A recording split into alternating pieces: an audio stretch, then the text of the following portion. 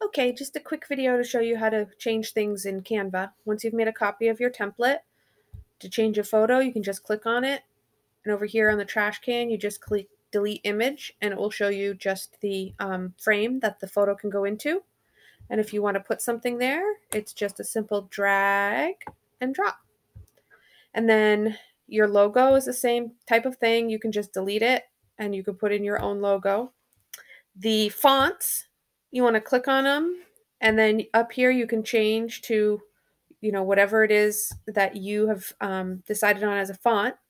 And then once you do that up here where the font name is you want to make sure that you write in what the new font name is so that it's um,